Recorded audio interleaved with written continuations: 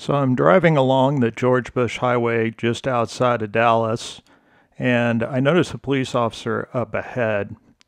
When I get closer, I notice he has traffic stopped and he has stop sticks out at the ready.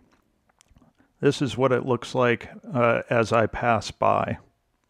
You see the traffic stopped. A few moments later, you're going to see what I saw in real time.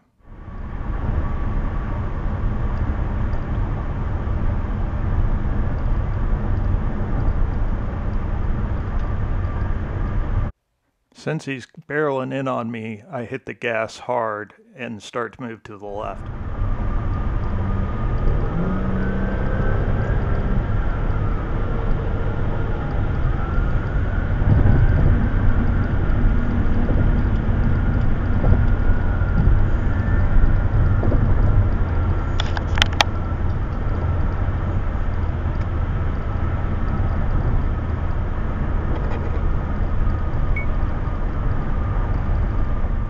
This is what it looks like zoomed in. You see the passenger moving around, and then they start to go into the exit, and the passenger opens the door. He's getting ready to bail.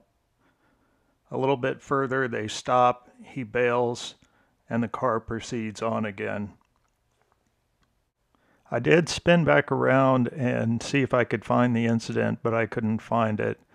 So I was heading back in the same direction I was going. Then I noticed more troopers coming that direction, so the pursuit was still on.